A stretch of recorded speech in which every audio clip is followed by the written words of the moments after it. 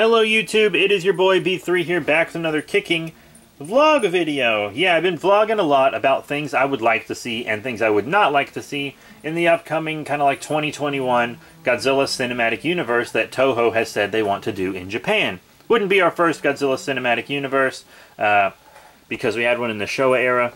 And then I wouldn't call the Heisei era a cinematic universe. They're just sequels.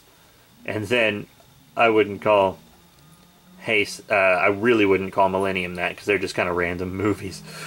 But uh, I am excited for another Godzilla cinematic universe, especially one that pays a bit more attention to the continuity than the Showa one did, which would be really cool. But today we're actually going to talk about some characters that Toho does own, and they are kaiju related.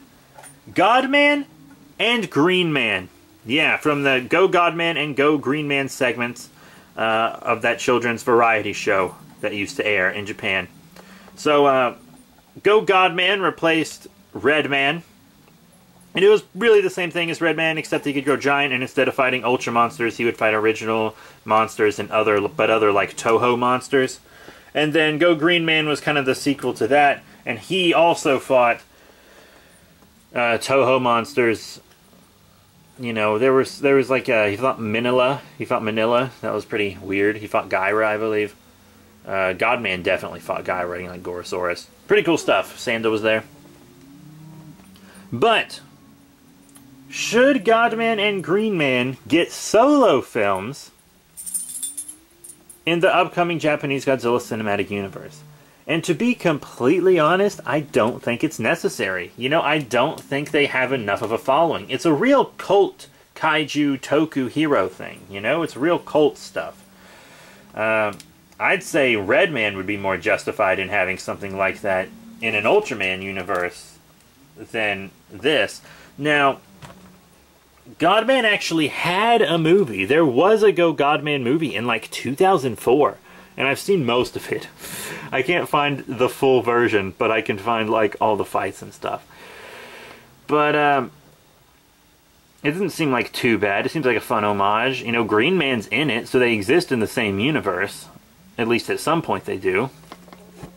You know, in Neo Heisei, or Heisei they did. They existed in the same universe in the Heisei era.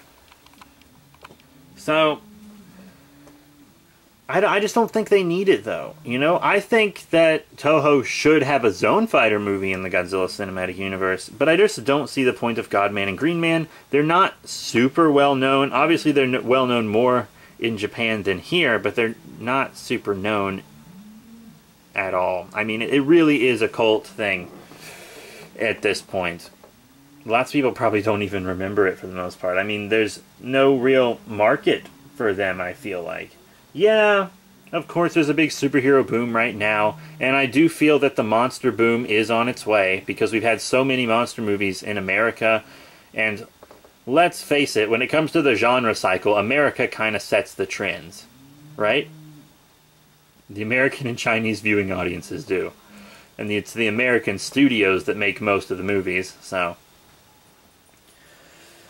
So, Godman and Green Man getting solo films.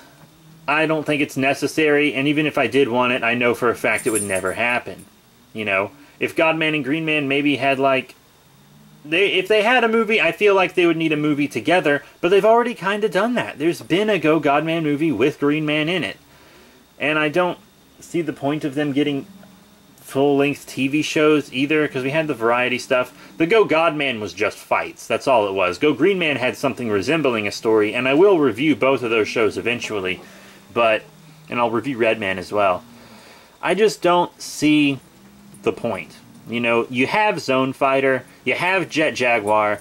Give both of them solo films. I think that would be good. I know they did a teaser for Jet Jaguar solo film, and I already did a video about.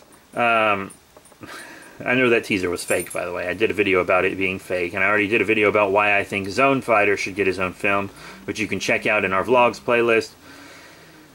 But until I see you all again, thank you all very much for your support. I didn't have any Godman or Greenman stuff to show in my collection, so I just have a couple Ultras here. But thank you all very much for your support. Remember to rate, comment, and subscribe. Check out all the cool links in the description below. Facebook, Twitter, etc. That is it. I will see you all later.